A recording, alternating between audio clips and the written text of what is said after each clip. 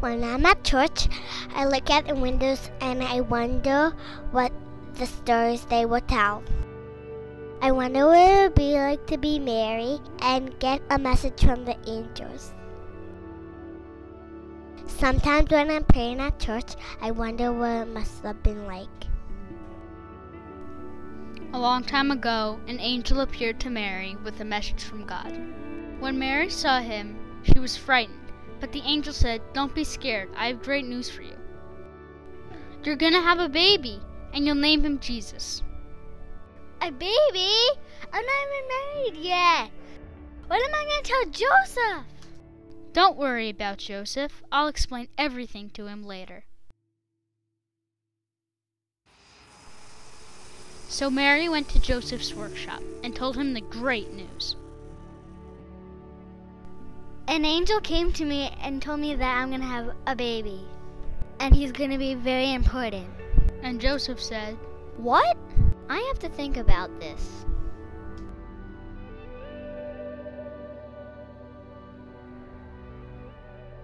That night, Gabriel came to Joseph and said, Don't worry, God will take care of you. After I woke up, I felt better about everything.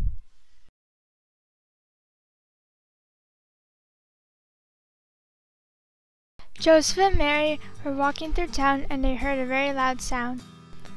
A Roman soldier unrolled the scroll and said, Listen up, everybody. I have a very important announcement. By the order of Caesar Augustus, you gotta get counted. And Joseph asked, Why do we need to be counted? Good question. So we can get more money from you. To keep our empire strong. You must start your journey right away.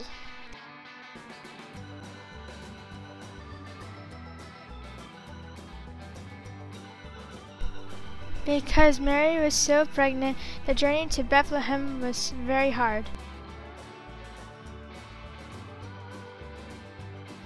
Mary rode on a little donkey. Joseph talked to her and encouraged her.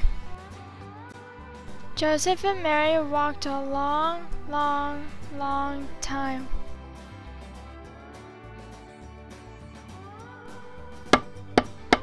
When they finally got to Bethlehem, it seemed like nobody had a place for them to stay.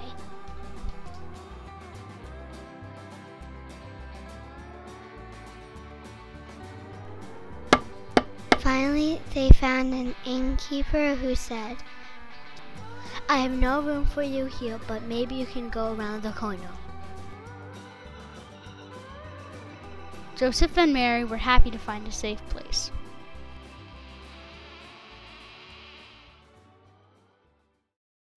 That night, in a humble stable, Jesus was born.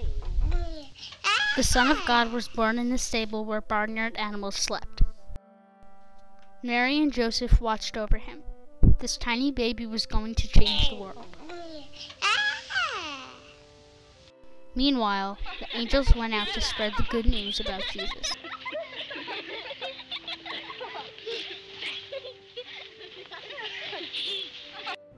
Many shepherds cared for their flocks out in the wilderness. The shepherds rested after a hard day. The angels seemed to come out of nowhere. They surprised the shepherds.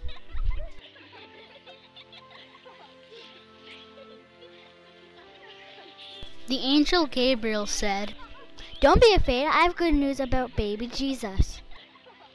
The shepherds were very happy to hear the great news.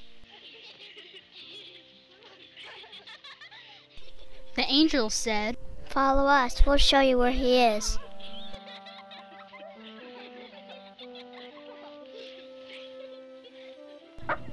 Since the sheep were so tired, the shepherds had to carry them. The shepherds tiptoed into the stable to see baby Jesus. They had never seen such a beautiful child. They gathered around the manger quietly. Meanwhile, a great star pointed the way to Jesus. Three wise kings got the message and traveled from far away carrying precious gifts. When they got there, the star rejoiced. The first king brought gold, it glittered in the darkness. The second king brought frankincense, it smelled so sweet. The third king brought myrrh, a healing oil.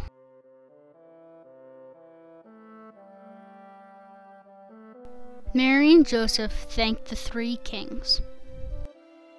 After their group photo, the kings went their separate ways. The birth of Jesus is the reason we celebrate Christmas today. Jesus grew up to change the world. He taught us how to love each other and how to love God.